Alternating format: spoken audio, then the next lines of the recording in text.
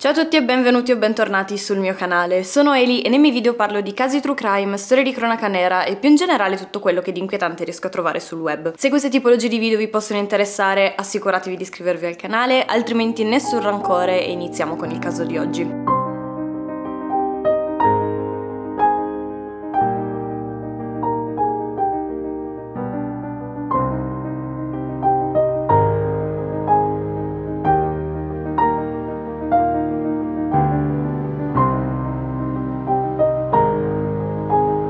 Per il caso di oggi ci troviamo in Florida, più precisamente ad Orlando, una città di circa 300.000 abitanti. Orlando è una città estremamente viva, diciamo così, molto frequentata e fornita di qualsiasi servizio possa venirvi in mente. Pensate che sono lì ad esempio gli Universal Studios, quelli che molto probabilmente vedete quando persone vanno a visitarli in America, molto probabilmente sono lì. A livello economico Orlando ha una posizione estremamente invidiabile, ha un tasso di disoccupazione del 2% che è tra i più bassi dell'area. Nel 2007 ad Orlando Orlando viveva una ragazza di nome Griselda Cassamayor. Griselda era in realtà nata nella Repubblica Dominicana ma era emigrata insieme alla sua famiglia quando era ancora molto piccola in cerca di un futuro migliore. Crescendo Griselda diventò una ragazza estremamente estroversa, molto sicura di sé, si fece un sacco di amicizie, infatti nel tempo libero solitamente era sempre fuori, insomma in qualche locale, magari in centro con gli amici. La famiglia di Griselda riuscì fortunatamente a stabilirsi economicamente abbastanza in fretta, in particolare lo zio di Griselda diventò un chiropratico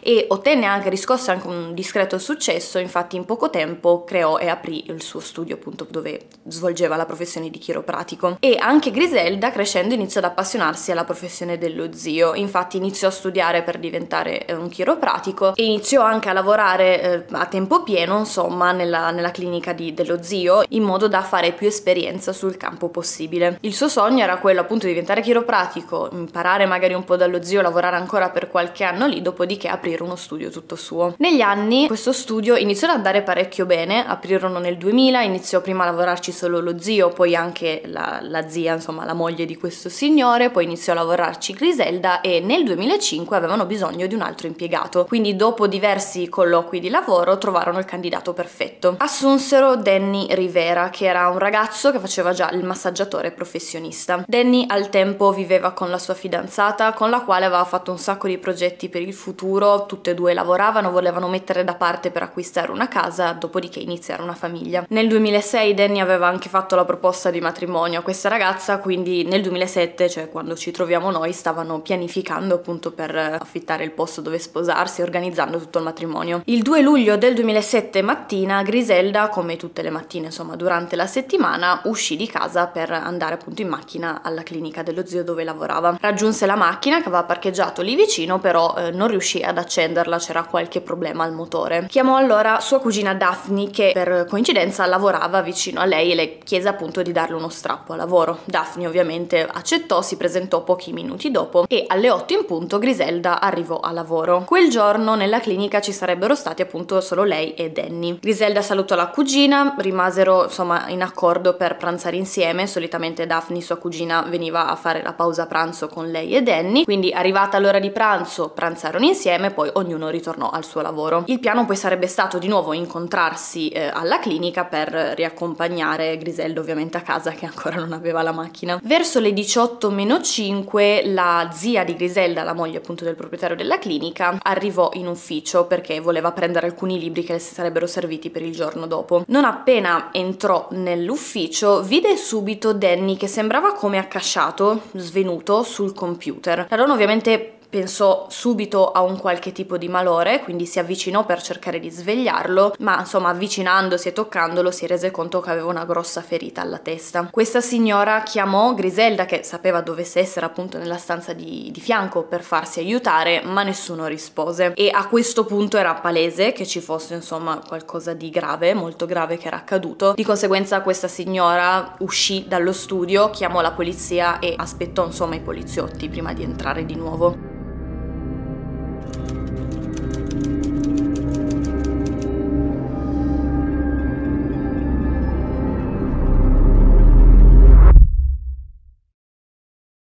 Polizia arrivò pochi minuti dopo, purtroppo confermarono il fatto che Danny era deceduto ormai da qualche tempo, quindi non c'era più niente che si potesse fare per lui. Dopodiché ispezionarono il resto dello studio per cercare Griselda e purtroppo la trovarono sotto una scrivania in una delle stanze dello studio e aveva evidentemente quattro colpi di proiettile al petto. In realtà Griselda a questo punto era ancora viva, quindi viene trasportata d'urgenza all'ospedale ma morirà poco...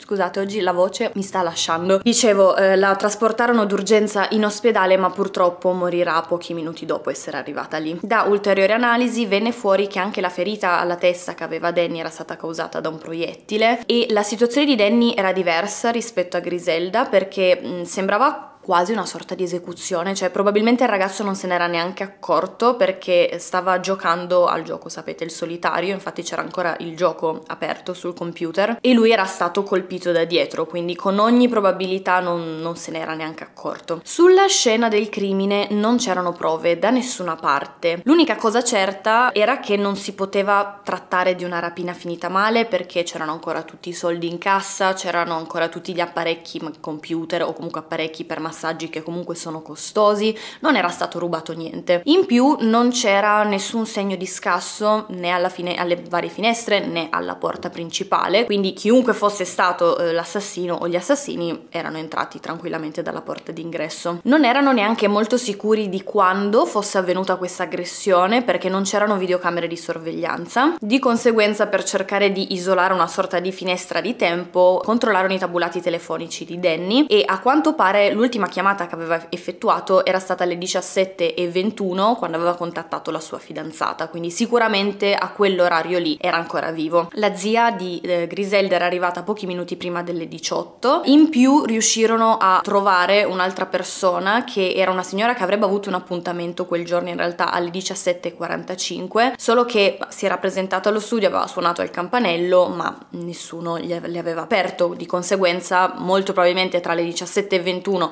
e le 17.45 era accaduta insomma l'aggressione. Inoltre in realtà all'inizio iniziarono a pensare che magari si potesse trattare di qualche tipo magari di avvertimento o cosa del genere nei confronti dello zio di Griselda, magari aveva insomma le mani in cose losche, magari si era fatto dei debiti, magari aveva chiesto un prestito in maniera non tradizionale, magari a persone invischiate un po' in cose strane, insomma ci fu quel tipo di ipotesi per un certo tipo di tempo, solo che controllarono tutti gli affari di, dello zio e di questo studio e non c'era niente che potesse evidenziare qualcosa di illegale dietro. Inoltre ragionando sui due attacchi, cioè a Danny l'hanno colpito da dietro, non se ne è neanche accorto, a Griselda le hanno sparato da davanti ben quattro volte, iniziò a venire fuori l'ipotesi che magari l'aggressore o gli aggressori avevano qualche conto in sospeso con Griselda e che Danny fosse una morte diciamo collaterale della situazione. Iniziarono interrogando il fidanzato di Griselda perché ovviamente come in ogni caso il primo o la, o la prima sospettata sono i fidanzati, i mariti, i mogli, insomma i compagni diciamo delle vittime. Questo fidanzato però allora in primo luogo stava insieme a Griselda da davvero poco, tipo un paio di mesi. In secondo luogo quando appunto gli raccontarono, gli dissero quello che era accaduto sembrava sinceramente scosso da, dalla morte di Griselda. In terzo luogo quel giorno si trovava al lavoro, lo confermarono non solo i suoi colleghi e il suo datore di lavoro, ma anche le videocamere di sorveglianza. Chiesero anche alla famiglia sia di Griselda che di Danny e per quanto ne sapevano loro non avevano nemici, erano ragazzi per bene, non giravano in compagnie strane, non frequentavano mm,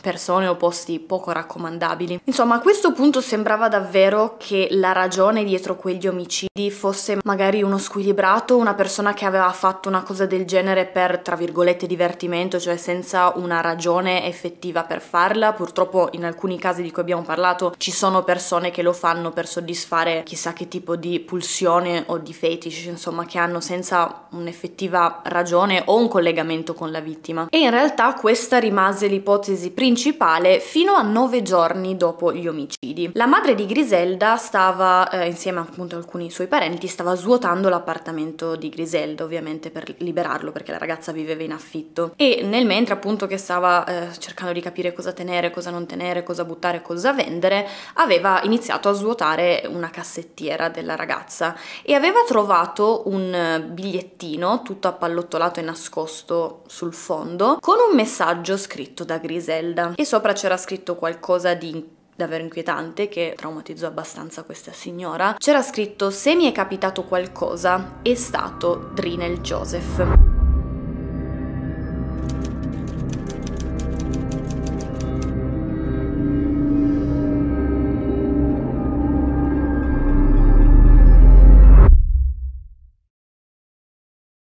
Questo nome non era per niente nuovo alla famiglia e agli amici di Griselda. Nell'agosto del 2006 lei e alcuni suoi amici erano usciti insomma la sera per passare una serata in un club appunto di Orlando. Durante questa serata un ragazzo ci provò con lei, un ragazzo proprio di nome Drinel Joseph. Questo ragazzo ci aveva provato diciamo spudoratamente con lei e in realtà a Griselda solitamente questo tipo di approcci non piacevano, almeno secondo quanto raccontato dai suoi amici, ma quel ragazzo in particolare l'aveva colpita, era comunque un bel ragazzo, vestito bene. Insomma, le era, le era piaciuto nonostante magari il modo poco carino di approcciarla. Di conseguenza, alla fine della serata le aveva lasciato il suo numero e nelle settimane successive aveva iniziato prima a messaggiare, poi a parlare al telefono e se, si erano trovati molto bene da subito. Erano anche usciti un paio di volte, insomma, ve la faccio breve, in pochissimo tempo Griselda si innamorò follemente di questo Drinel. In realtà Drinel non era di Orlando, era di una città a circa 4 ore di macchina da Orlando che si chiama Olmsted e ogni ogni settimana, tutti i weekend, si faceva queste 4 ore di viaggio solo per vedere Griselda. I due uscivano insieme, lui la riempiva di attenzioni, di regali, i classici stadi, diciamo, di una relazione all'inizio. Drinel aveva sicuramente già un passato, aveva un matrimonio precedente dal quale aveva avuto due figlie e questa cosa però non eh, bloccò in nessun modo la relazione con Griselda, anzi a Griselda piacevano tantissimo i bambini e in pochi mesi nella relazione mm, la donna conobbe anche queste bambine iniziarono a passare sempre più tempo insieme, fatto sta che in meno di un anno, diciamo, bruciarono decisamente un po' di tappe perché in meno di un anno Drinel lasciò il suo lavoro ad Homestead, prese un lavoro in, una, in un ristorante, in una steakhouse ad Orlando e si trasferì in pianta stabile da Griselda. E eh, gli amici e la famiglia di Griselda erano un, un pochino preoccupati dal fatto che la ragazza stesse andando, diciamo, molto veloce con questo ragazzo che aveva appena conosciuto, però la relazione da fuori sembrava effettivamente una relazione per bene, cioè Griselda sembrava felice, era molto serena, quindi nonostante sì sicuramente stessero un po' correndo tanto, nessuno della sua famiglia o dei suoi amici le disse mai niente, nonostante avessero le loro riserve. Pochi mesi dopo il loro trasferimento insieme, Griselda rimase incinta e fu una notizia che sorprese molto positivamente sia lei che lui. A Griselda, come dicevo, piacevano molti bambini e poi eh, aveva da sempre sognato di diventare madre, quindi è una cosa che comunque la rese molto felice. Purtroppo però dopo due mesi di gravidanza ebbe un aborto spontaneo, cosa che fu ovviamente molto molto dura per Griselda, quindi passò sicuramente mh, un periodo un po' buio lei.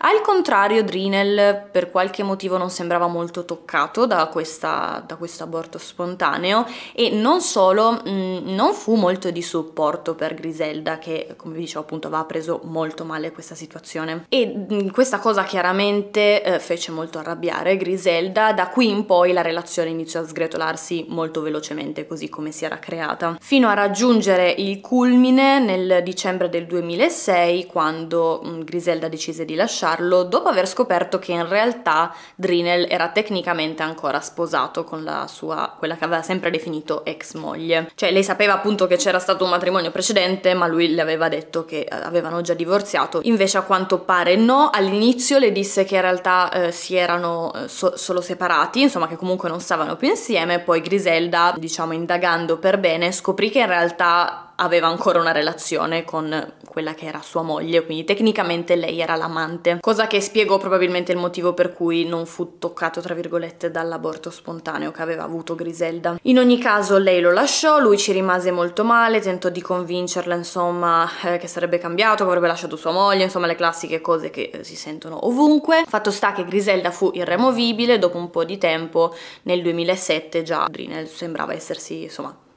averci messo una pietra sopra, non la, non la, contattava neanche più. Griselda era andata avanti dopo la rottura da questa relazione e nell'estate del 2007 aveva conosciuto un altro ragazzo, quello con cui appunto era fidanzata al momento della morte. Con questa informazione, cioè con questo biglietto scritto se mi capita qualcosa è stato Sdrinel, la polizia interrogò tutti gli amici della ragazza per cercare di capire qualcosa di più di questo Drinel e alcuni degli amici della ragazza dissero che effettivamente nell'ultimo periodo Drinel aveva riniziato a chiamarla al telefono per cercare di convincerla a tornare con lui. E una ragazza in particolare, che era eh, la migliore amica in assoluto di Griselda, raccontò che alcune settimane prima degli omicidi erano stati a un festival a Miami, un festival della musica, e Griselda le aveva raccontato che Drinel era diventato estremamente geloso e possessivo nonostante non stessero più insieme da un bel po' di tempo, quindi giustamente Griselda era liberissima prima di farsi un'altra relazione, un'altra vita. E aveva detto anzi che l'aveva contattata per insultarla dopo aver visto delle foto che aveva messo su Facebook con il fidanzato appunto del, dell'epoca. Questa stessa amica aveva assistito a una chiamata che aveva fatto Drinel a Griselda quando appunto si trovavano a Miami per questo festival e questa amica aveva sentito dal telefono che lui le diceva una roba del tipo se non ti posso avere io non ti deve avere nessuno. Si era ovviamente preoccupata di questa frase, ne aveva parlato con Griselda, ma Griselda le aveva detto di non preoccuparsi, che erano cose che diceva così, che ultimamente diceva molto spesso. E a quanto pare, ovviamente, non abbiamo amici o persone che abbiano assistito a questa cosa, ma tenendo conto di quel foglietto che è stato trovato, cioè se mi capita qualcosa è stato Drinel, evidentemente questo ragazzo le aveva fatto delle minacce ben più gravi, del se non ti posso avere io non ti avrò nessuno, probabilmente l'aveva minacciata molte più volte. Drinel venne interrogato ovviamente e non venne interrogato solo lui ma anche insomma alcuni suoi amici e suoi parenti. E venne fuori una cosa un po' sconcertante ovvero che gli amici e i parenti di Drinel erano convinti che la stalker tra virgolette della situazione cioè la persona che non riusciva a farsi una ragione della fine della loro relazione fosse Griselda. Cioè i suoi amici e la sua famiglia Drinel aveva raccontato che era Griselda la pazza furiosa che lo contattava lo minacciava eh, voleva tornare con lui gli faceva la posta al lavoro e cose del del genere. E questa versione, tra virgolette, lui la sostenne anche con la polizia, anzi racconto loro che per lui quella con Griselda era stata solo una, e la definì così, un'avventura extraconiugale molto divertente. Cosa che non dico che non, non esistano persone che fanno queste cose perché ce ne sono tantissime, però non combaciava molto con la storia, cioè con quello che era accaduto, perché quest'uomo aveva addirittura lasciato un lavoro ad Homestead aveva trovato un altro lavoro ad Orlando semplicemente per andare a vivere da Griselda, quindi la versione dell'avventura così tanto per farsi una, appunto un'avventuretta extraconiugale non combaciava molto col fatto che questo avesse lasciato un lavoro e si fosse trasferito ad Orlando per Griselda. Procedettero dunque col chiedergli un alibi ovviamente e lui disse di essere stato al suo posto di lavoro ad Homestead dalle 8.30 fino alle 12, poi aveva litigato con il capo, se n'era andato, aveva raggiunto un suo amico che aveva un negozio che riparava auto per aiutarlo a cambiare delle gomme, dopodiché era tornato a casa alle 16. Ovviamente un alibi va... Eh, valutato dalla polizia, va confermato, quindi andarono da questo amico che aveva una sorta di carrozzeria e gli chiesero quando quel giorno Drinel fosse passato da lui. E lui disse appunto che si ricordava benissimo che quel giorno era passato ad aiutarlo a montare delle, delle gomme, ma che se n'era andato alle 11.30 del mattino, dando tutto il tempo a Drinel di farsi le 4 ore di auto per arrivare ad Orlando e uccidere Griselda e Danny. Quindi già comunque mentire alla polizia non è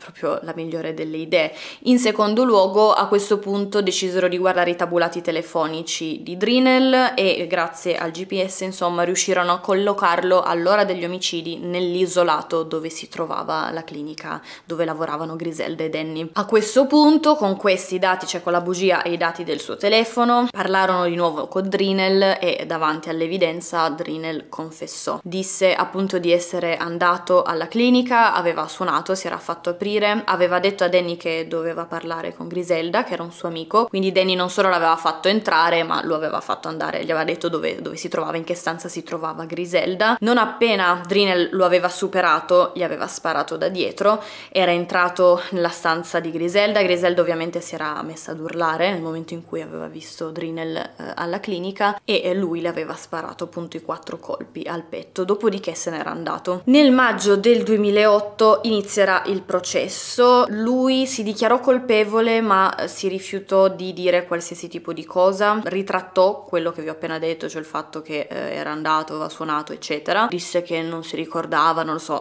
diede un no comment praticamente a ogni tipo di domanda, però si dichiarò colpevole. Alla fine del processo lo condannarono all'ergastolo. E anche il caso di oggi si conclude così, eh, di nuovo adesso non so se è già uscito, dovrebbe essere già uscito, però mh, mm, ho trattato di recente un altro caso in cui purtroppo viene messa in mezzo a situazioni in cui non c'entra niente una persona come in questo caso è stato Danny, che se è molto triste in generale un qualsiasi tipo di omicidio, quando appunto si tratta di vittime tra virgolette sempre collaterali, secondo me è ancora più triste. Grazie come al solito di essere arrivati fino a questo punto del video, se vi va lasciatemi un commento, fatemi sapere cosa ne pensate del caso, se volete sostenere il canale ricordatevi anche di iscrivervi, lasciare un mi piace, attivare la campanella delle notifiche, se volete potete seguirmi anche su Instagram, mi trovate come Eli Capano o su TikTok mi trovate sempre come Link Crimeland. Per il caso di oggi era tutto, noi ci rivediamo con un prossimo video.